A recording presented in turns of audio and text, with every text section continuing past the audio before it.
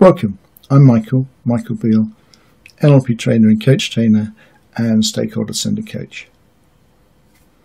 In this segment, we're going to look at what is NLP. It stands for Neuro Linguistic Programming, a bit of a mouthful, um, but the name came as a bit of a joke, uh, so I'll probably cover that cover that later.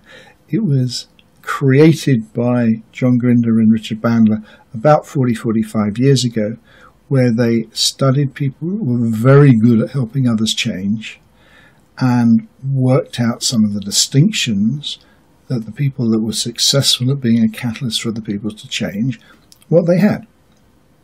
So NLP is basically about three things. It's about an attitude of curiosity, um, because if you're not curious, you're not going to want to find out. It's skills in modeling, um, both consciously and unconsciously, as to what other people do that works. And then it's sort of codifying that, translating it into technique so you can teach what you've learned so other people can use it to improve what they do.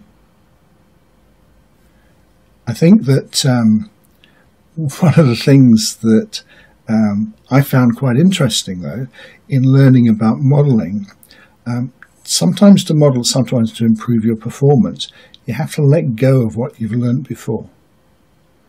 Sometimes you can't improve unless you're prepared to forget things that you thought were true in, in, in, in the past. So the modeling thing sounds easy, but there may be a little bit more to it than people at first people at first think. I've been working with NLP for with people for over 14 years now, and the clients that like it do make step changes in their lives. I am going to make the point though, it's not per se the NLP that makes the steps change in their life, it's them using it. Um, NLP is like lots of things. If you practice it with good people, you improve. If you don't practice, or you don't have good role models, then it's far, far harder. However, the sake of what we're doing during these videos, it is a tremendous enabler to help people achieve whatever it is they want to achieve. Thanks for listening. In the next segment, we're going to look more specifically at what, pe what people have achieved by using NLP. Thank you.